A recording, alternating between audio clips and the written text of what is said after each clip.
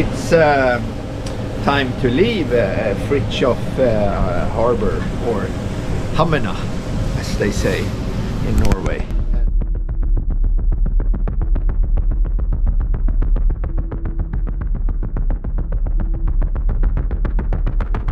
And I think we go and have a look at the glacier, go in there and before we go out. And we will sail another 15 nautical up to uh, Trygghamna, safe harbor. Probably that will be the day. And we get uh, quite late start. I think it's 10.30 or 11 o'clock soon. But um, the beauty up here is you can sail as uh, long as you want during the day because it's will not get dark. Dreamy, breezy, we go.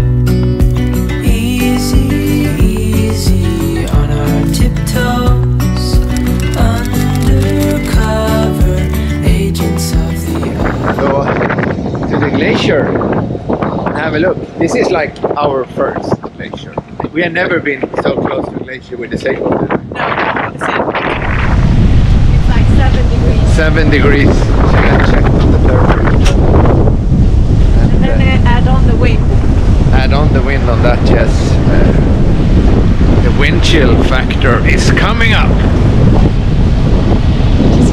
Are you excited for your little Yeah. glacier? Yeah. Fritjof's glacier. Uh,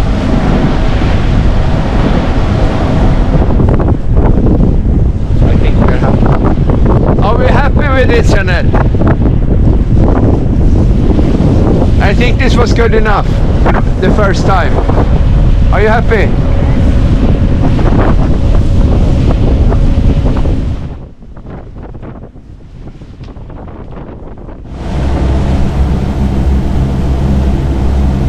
That was a nice uh, little trip into the glacier there, our first.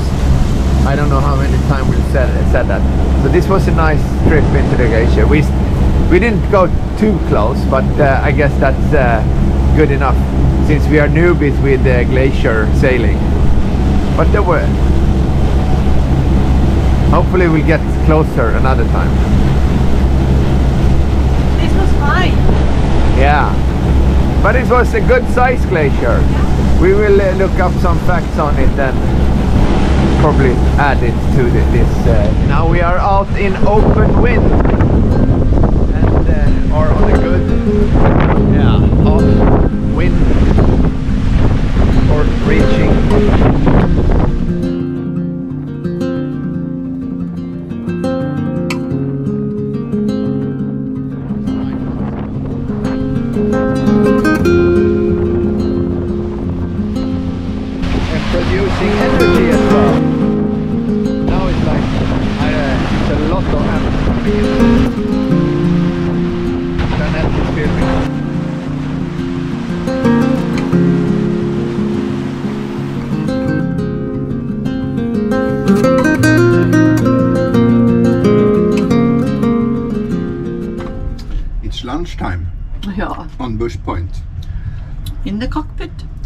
Doghouse.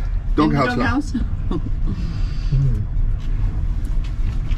it's so sophisticated on board. Yeah. Doghouse Yeah. in plastic.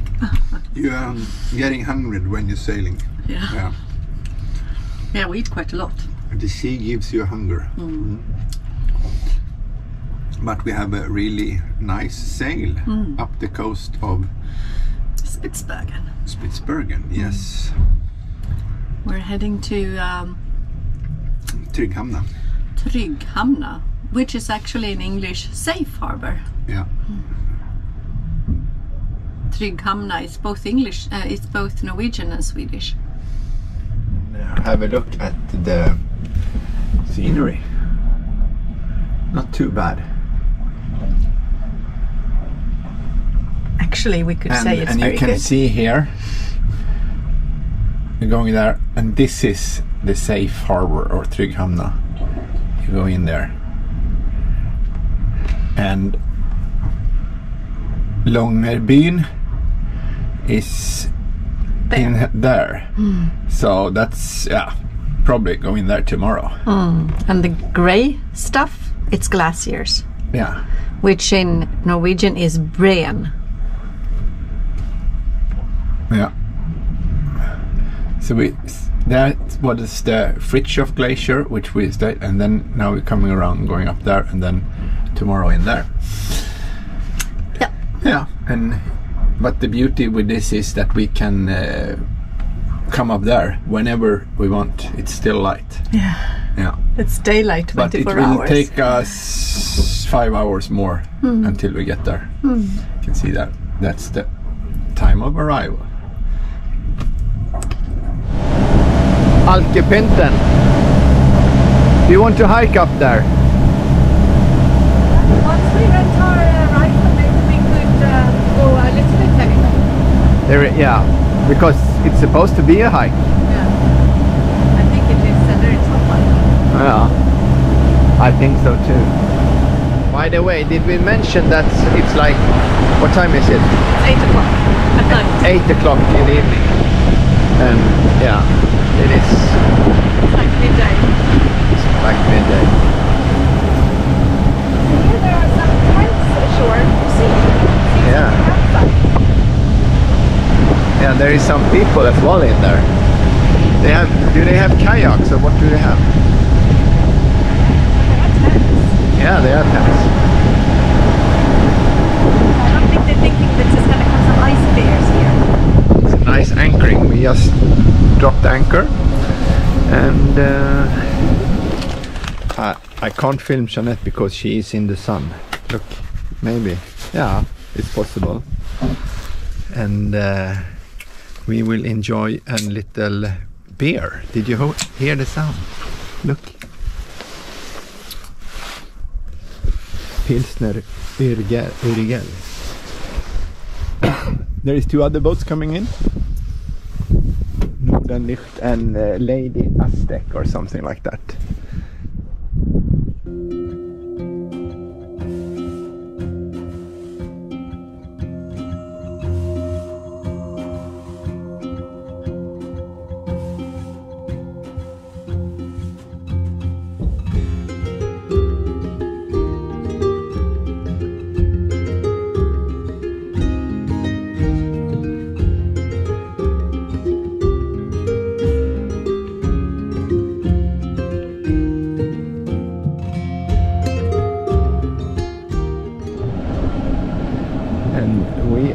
Off.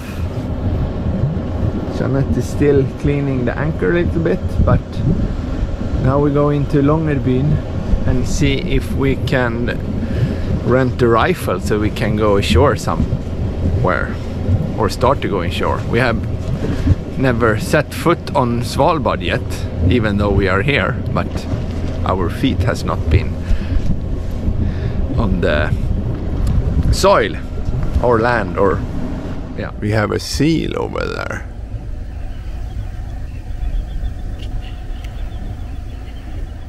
And I was thinking, where there is a seal, there ought to be an ice bear wanting to have some food. yeah and now you want to see an iceberg coming and take these two wonderful little seals No, it's not that I want it. It's it's just that it's It's- the normal thing. it's the nature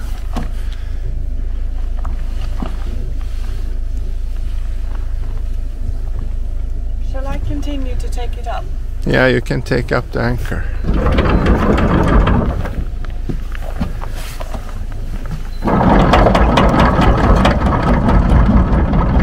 It's 18 meters now.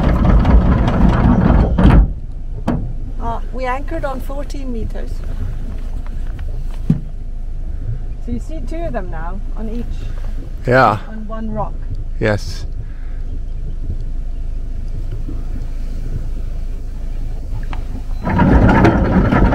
one two seals and one wife.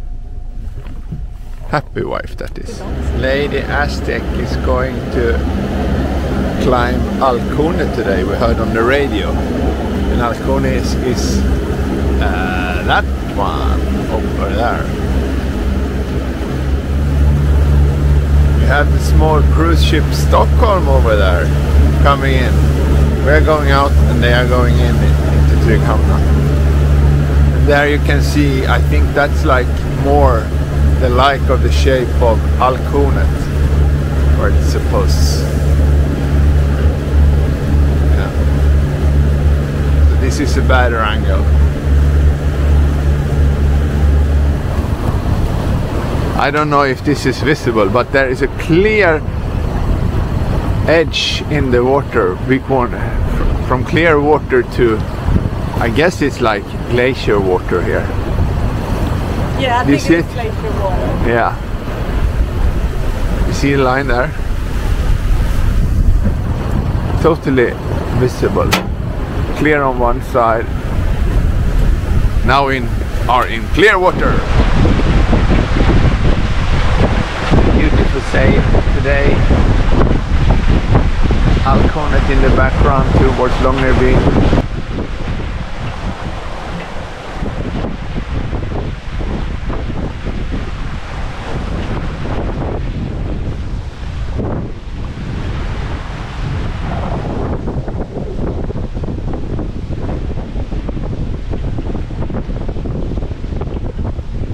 We are getting closer to uh, Longyearbyen. It's around that corner over there. But if you look on the top of the mountain over there, it looks like an army of polar bears standing and guarding the entrance. But I looked in the binoculars and it's actually uh, like uh, satellite dish uh, domes uh, that are standing there. And I read about this or did see something on television that a lot of satellite companies uh, have some dishes here uh, because it has something to do with the orbit around the Earth. It's very short, something like that.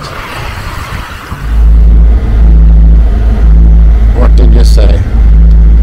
I just said that there's uh, a lot of boats going into Longyearbyen today. It's gonna be a. It's not such such a huge place. right? It's not uh, Looks like that is the place to be. for the weekend. Yes. The red one is us. These are uh, passenger ships. Approaching Longyearbyen Airport. I guess we have it in there. Somebody, if somebody has been flying into Longyearbyen, this is where you land. This is the airport, and I guess the airstrip is all the way from down there and down to here. And then like the village is in there somewhere.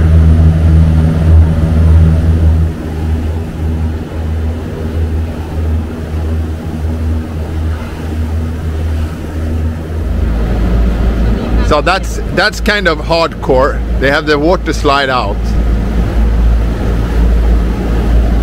Maybe they're doing a sauna and then sliding out into the sea. Yeah, that would be cool. Sauna and water slide out to the sea, Jeanette said. If, yeah. So this is a lovely morning in Longyearbyen. We will have breakfast. Outside. Did you ever think? I thought you would have a, a cockpit uh, breakfast in Longyearbyen. No. No, it, I think it was never in my imagination. yeah, and I think uh, the it will be like this tomorrow as well. Oh, and, will the- it? and then the rain will come oh, okay. For just a day or? for the rest of the, The forecast. Oh! Today we are doing some maintenance. We have a split dagger board.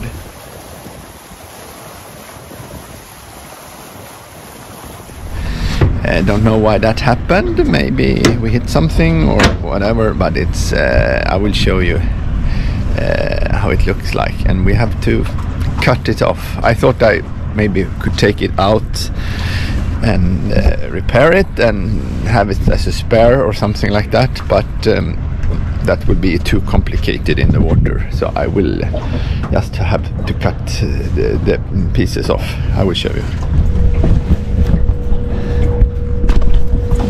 Yes, you can see there. So the, the anchor board is just above the waterline. I will tilt the boat a little bit, and then I can get closer to it. Yes, I can show you here if you give me the camera. So I'm cutting the yes ab- above. You see the blue line there where I marked? That's like where the hull is when it's. So I will cut that part out. Well, I must say it's great to have a mechanic on board. A handyman, that's what they told us long time ago. That's the best thing to have on board. But then Fredrik insists it is his wife that is best to have on board. Isn't that right? Yeah. The wife is the best thing to have on board. And I say a handyman.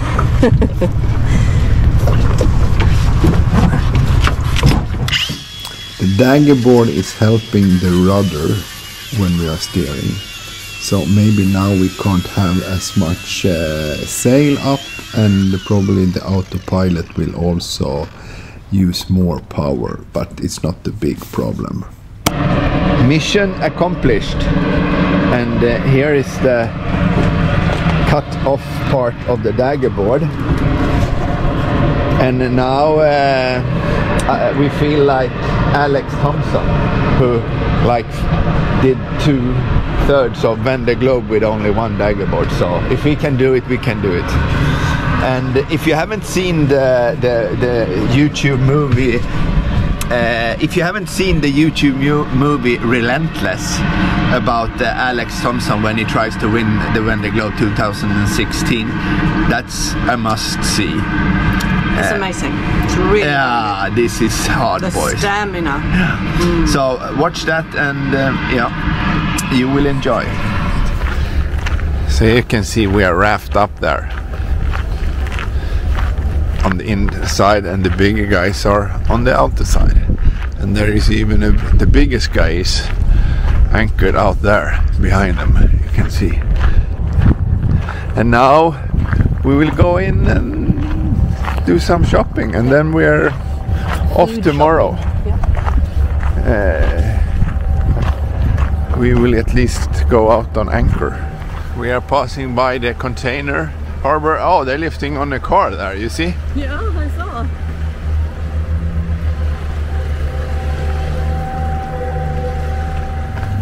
Been to uh, Sys Sysselmesteren, who is the big chief here Yeah. in Svalbard. And we They were were checking nice. how to to buy alcohol because it's a tax-free area and you require an aeroplane ticket. But since we sailed here, we thought we'd need something else. Otherwise, we can't buy the tax-free ration. So, have you got any information? Uh, they will get back to us. Yeah. But what we think is the strangest thing is that today it's July 8 and we are the first boat asking for it. Yeah. But I think we can survive without it. But anyway. yeah, I think so too. But we have a lovely day here, as you can see. And uh, Yeah, it's beautiful.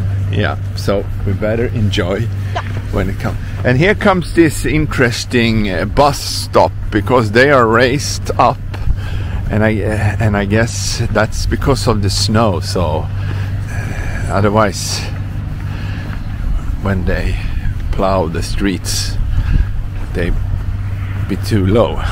And it's really funny. Okay, sorry. So it's really uh, funny the way that they park their um, not Snowmobiles. snowmobiles, but they're all over the place. Yeah, there's a big parking. Yeah, we'll see it when we come down And it would be it would be interesting to come here in the winter. Yeah. So here you see the bus stop. They walk up to it, and quite clever. So it, this is a war memorial. Yeah. They do have them in Norway since they were uh, under occupation of Germany. What was this uh, held by the Germans? Svalbard. It is. Uh, I'm not so sure if it was hold, but they they fought to keep it. Uh-huh. So we have to look it up because we know that they, they, that they, uh, they, they they blew up the radio transmitter on Bjørnøya for so the Germans should not get hold of it. Otherwise, uh, there were some in the south and some German people. Yeah. This might be the one of the nicest shops we have been in whole Norway, and we find that in Longyearbyen, in Svalbard. It's like, wow, they have everything here. It is really wow. Yeah. The shopping went well, and now we are on our way back to the boat. And I guess these uh, caravans on what is it say sledge uh, thing, kind of cool. Guess they have a lot of snow here during this time when they use these guys. Probably for some expedition things. And this is what they call the chocolate river. Comes up there. I think you can see the color there. It's coming all over up there. Chocolate River. This is what Ed said yesterday. Oh, chocolate river. But it looks like Glaciers. yeah, but it looks like chocolate. Yeah. Yeah. So we have filled some fuel for uh, the dinghy at the northernmost fuel station. So it was uh, a rather good price. It was uh, norske kroner. 14. Okay, 14.7. That would be like 1.4 euro, 1.5 euro maybe. So Very good. yeah, per liter. Uh, all the bags for cruise ships. They will go out.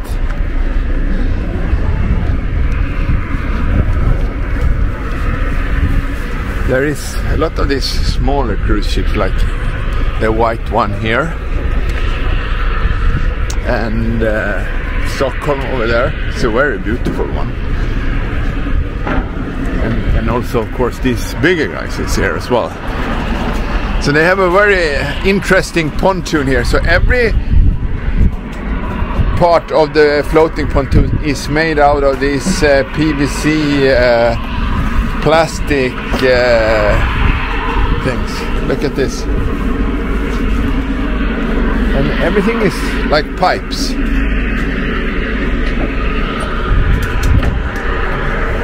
And glued or welded somehow together and of course this is uh, good for a, a marine environment to not have steel or anything like that this is the diesel 1445 nuke that's like 150 euro maybe around there 160 That's Antigua, isn't it? is this Antigua no yeah it is Antigua yeah so it's a quite big one as well and then uh, Bushpoint is coming over here. And we are also wrapped up.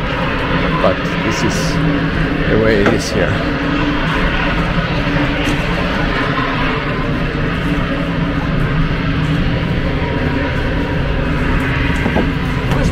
Having a laundry day. Yeah, we did some laundry. Cleaning boat inside as well. Yeah. like weather kind of things. But like, uh, Some guy's name you could look at a barometer and like go into. Uh, so the thing is, it was so frustrating on that forecast. I thought I was going to a trade wind and I would have winds from the northeast. Pilsner as well. I'm a Pilsner as well. And we already have, uh, we already have. We are discussing weather here. yeah. So I'm I'm We go to suffer from the storm. AKA the beer. Cheers. cheers. What is the weather looking like, Wed? Shite. Shh. chai comes from an Irish. So, but it was very interesting. Uh, I did um, trying to make myself useful on a boat since I don't do oil checks and uh, You don't. engines and anything like that. I thought I'd make myself And now you're telling me you don't do oil changes.